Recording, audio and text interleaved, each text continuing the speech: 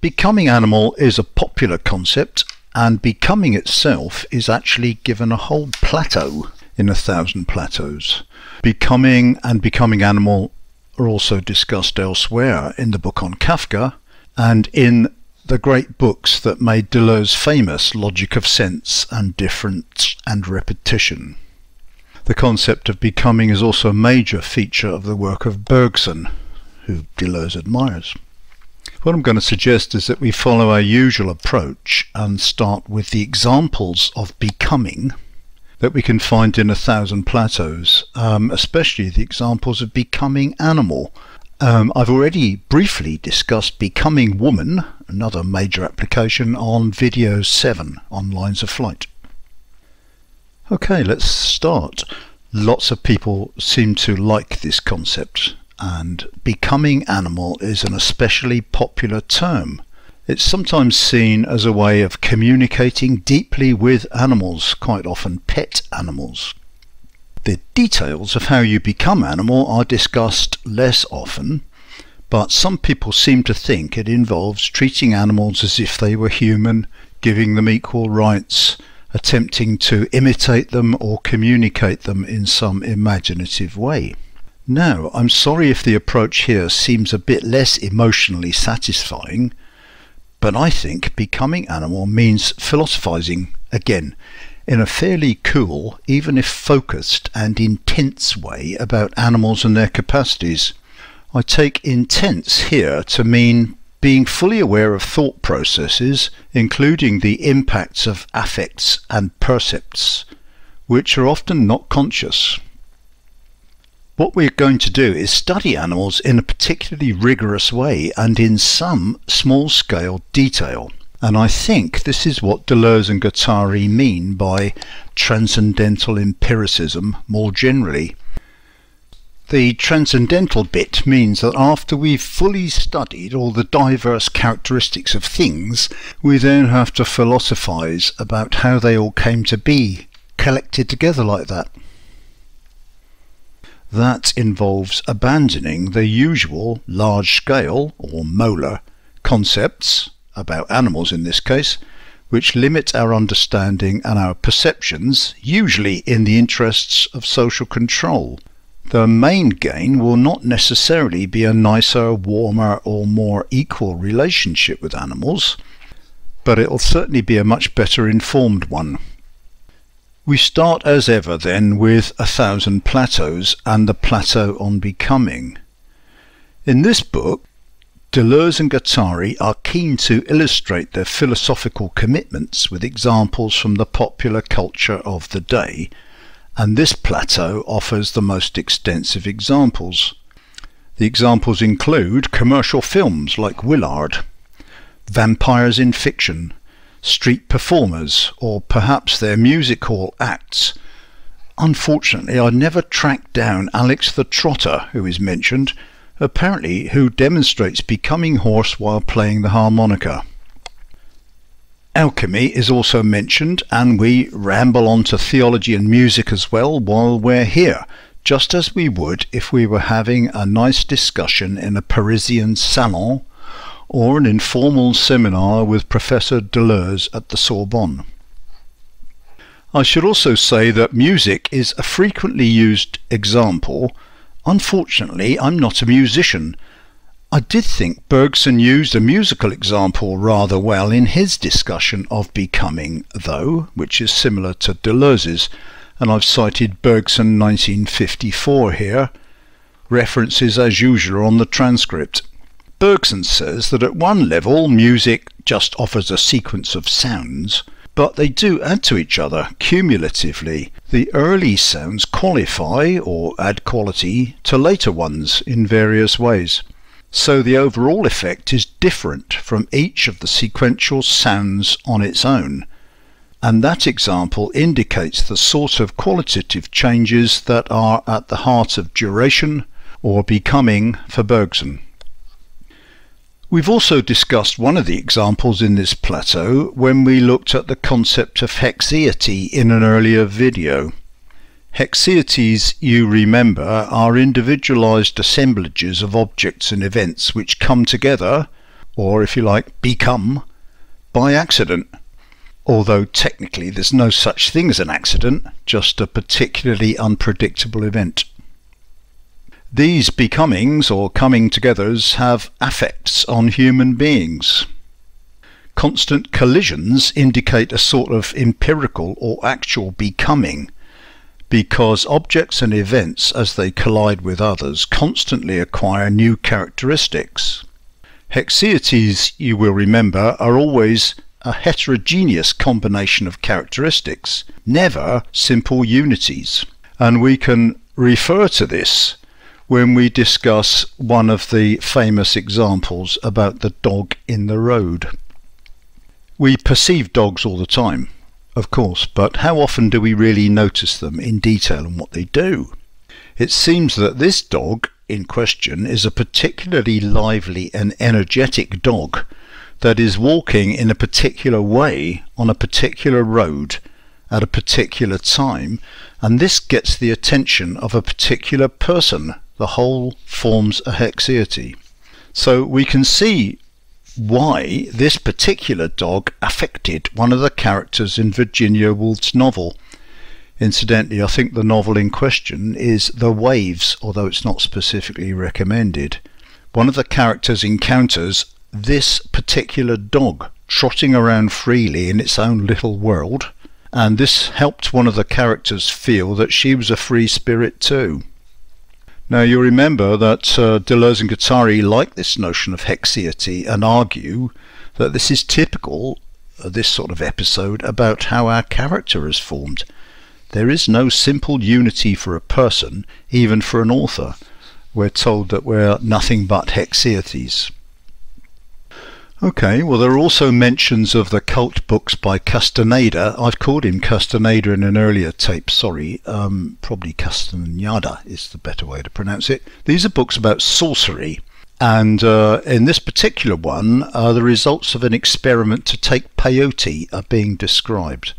What happens is the hero, a naive anthropologist, takes part in a peyote ritual and encounters a dog who is able to communicate with him. The dog also clearly demonstrates a kind of aura that surrounds living beings, a series of lines that connect them to each other and to the environment. This gets us on to becoming animal.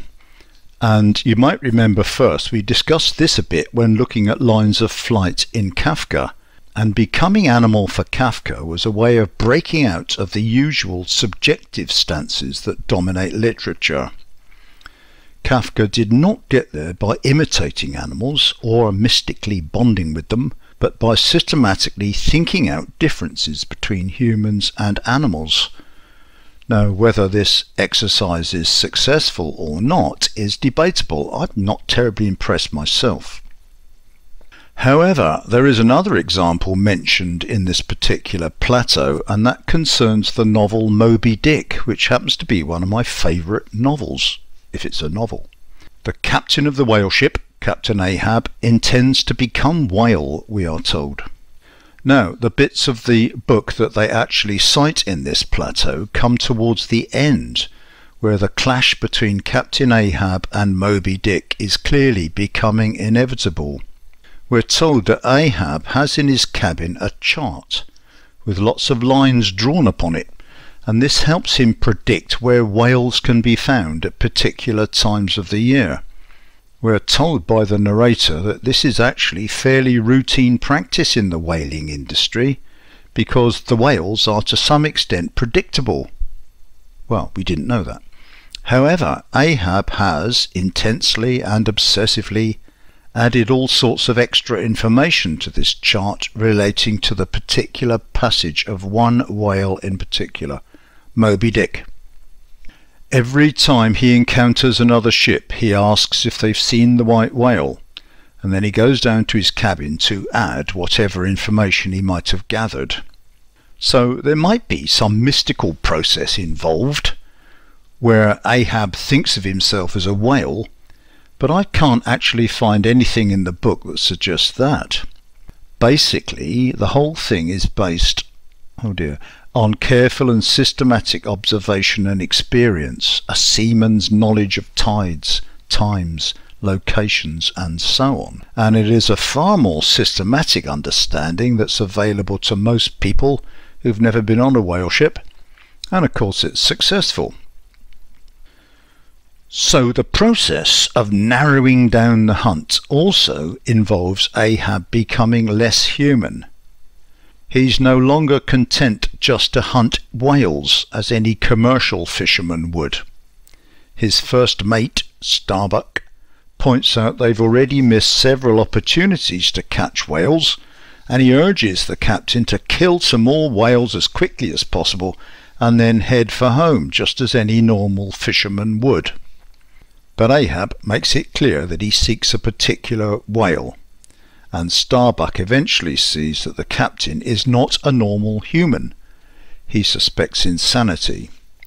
Ahab certainly describes, or rather displays, increasingly be isolated behaviour and eventually gives up even the normal human comforts of eating with the other officers or smoking a pipe we realize that the whole thing is going to end in some tragic confrontation where people will be killed. Ahab reassures Starbuck that nothing can be done, that they're set on a track which is preordained.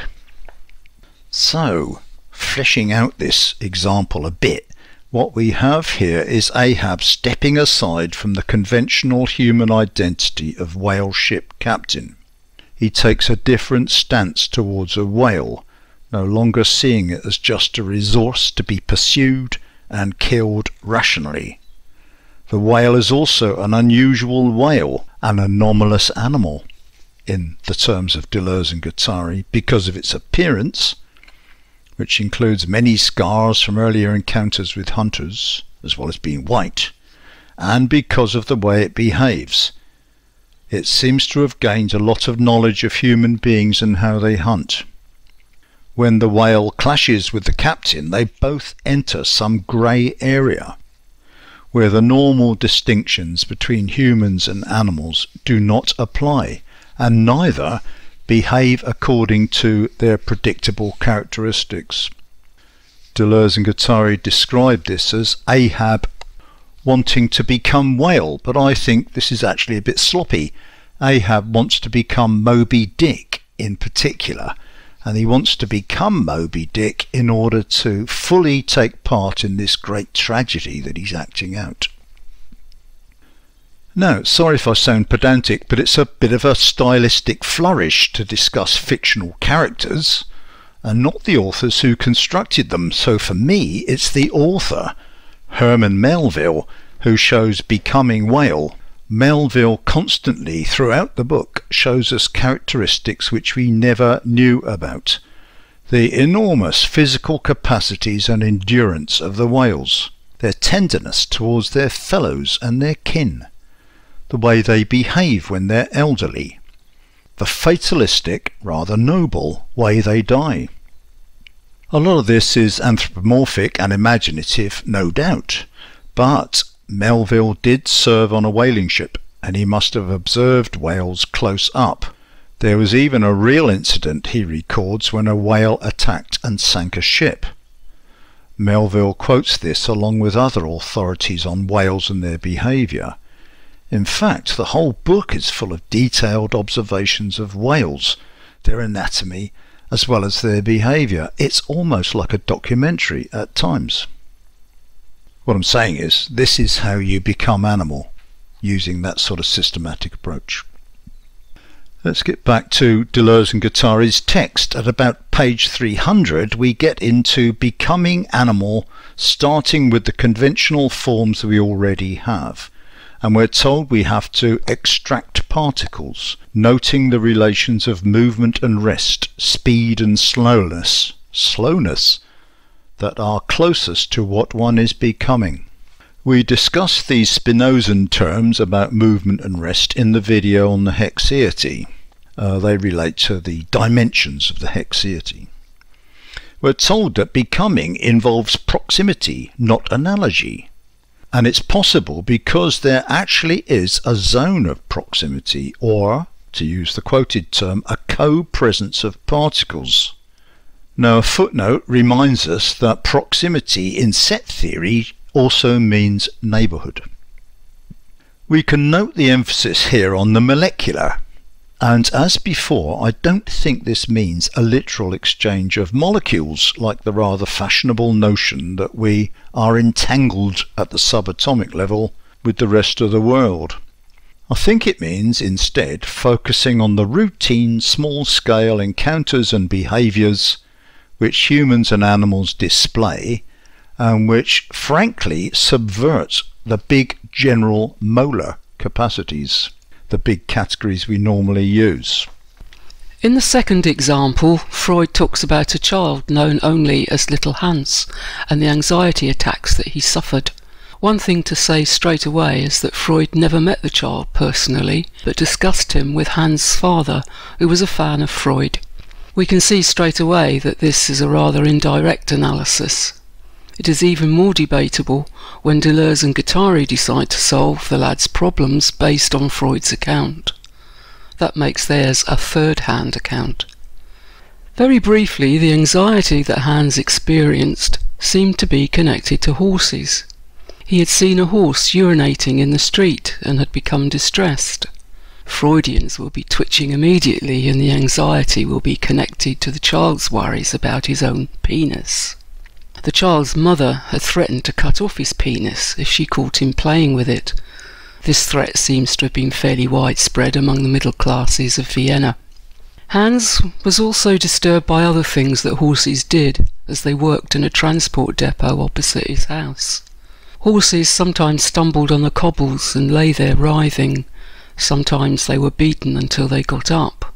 The depot itself had other mysteries, including a bunch of street kids who played with the wagons. Hans's father worked through some obvious forms of Freudian analysis with Freud. The horses with their blinkers might stand for the father himself with his spectacles and whiskers. That was too obvious for Freud. Horses lying in the street writhing and kicking their feet could be some symbolic version of sexual intercourse. The father denied that the lad had ever witnessed any such primal scene. Freud noticed that the anxiety was increased when Hans went to visit his relatives to look at their new baby. He travelled in a horse-drawn carriage to do so. Freud finally suggested that the anxiety was due to Hans dreading the arrival of a new baby.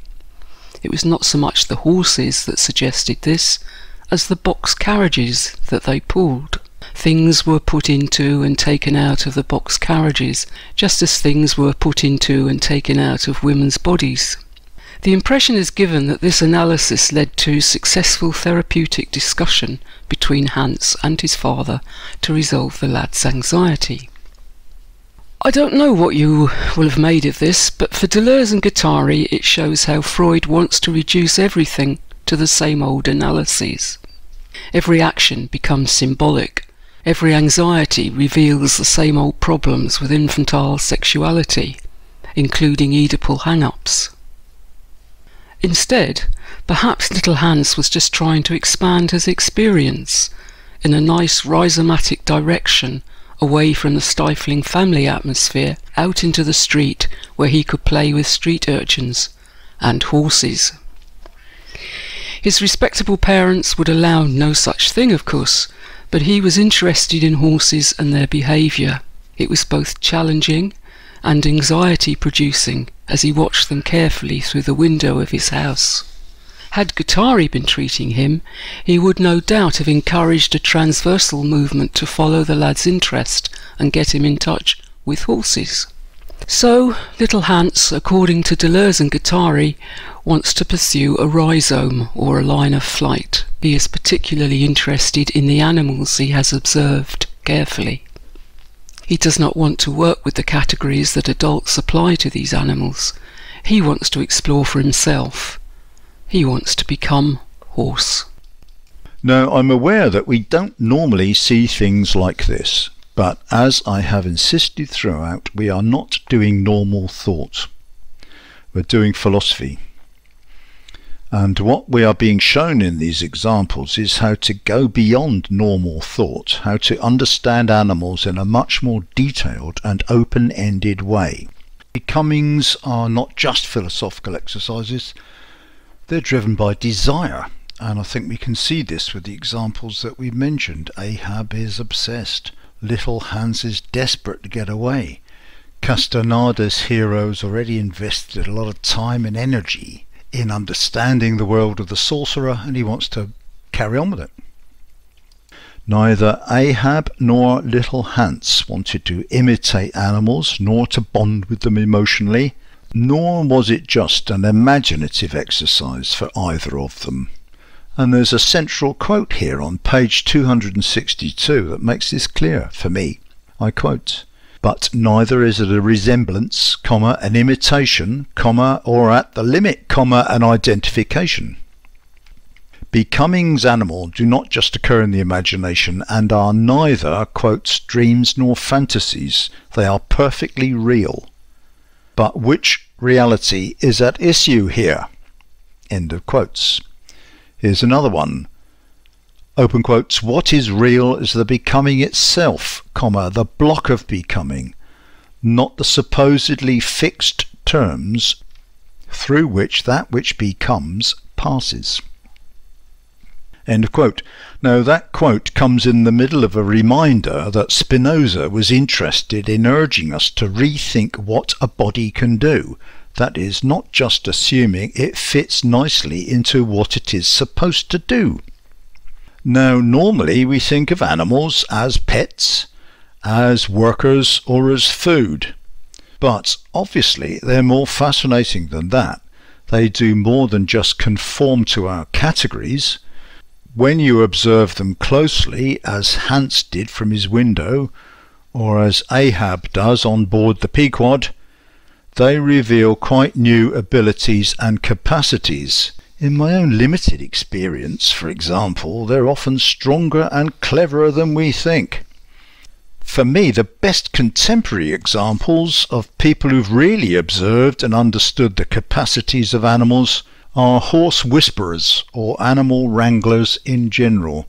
They've observed animals very carefully. They've observed how they interact with human beings. They've worked out what stresses them and what doesn't, and so on. The qualities that interest Deleuze and Guattari include what happens when animals act as a pack.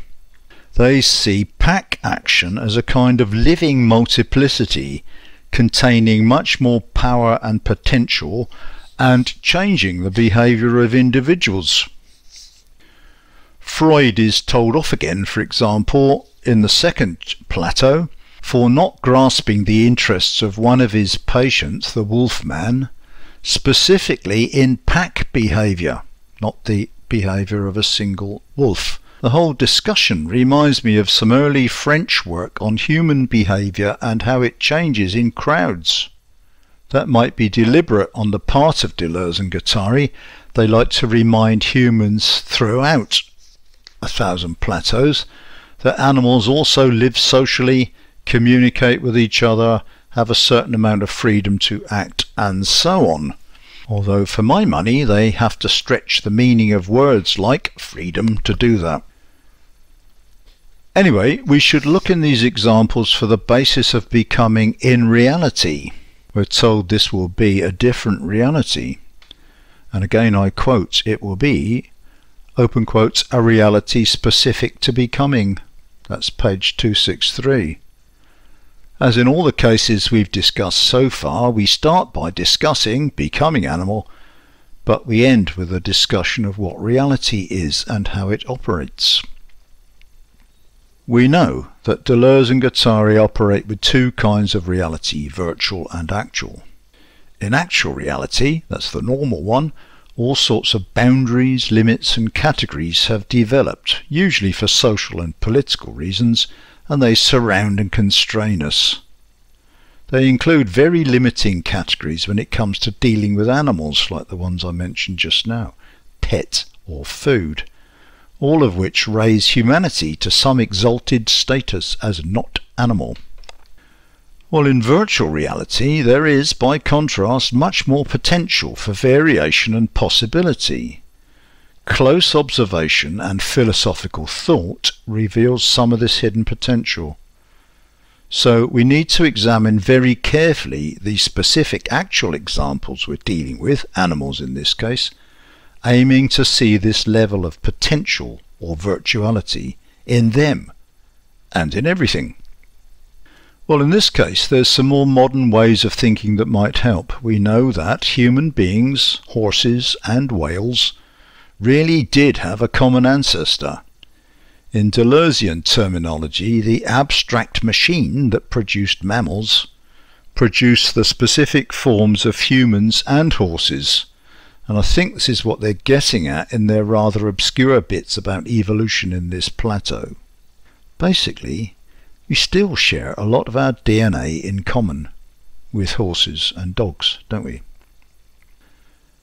Well, the plateau ends with some more technical stuff about how this virtual reality is actually constituted in terms of a number of different sorts of planes. Well, I'm still going to leave that aside for now. What we get from this for now is that a fully philosophical grasp of becoming leads to general conclusions boundaries around objects and events might look natural, but they're simplifications. There's only the reality of endless becoming. In virtual reality, things don't have boundaries around them. They become imperceptible. And becoming imperceptible is discussed on pages 277 to 8. That includes human beings. Well, we've briefly touched on becoming woman in the video before this one, Deleuze and Guattari also discuss becoming child, and I find this is an issue that particularly interests those working with children. I'm not going to discuss it now. I wonder if you can work out for yourselves what they actually might mean by it.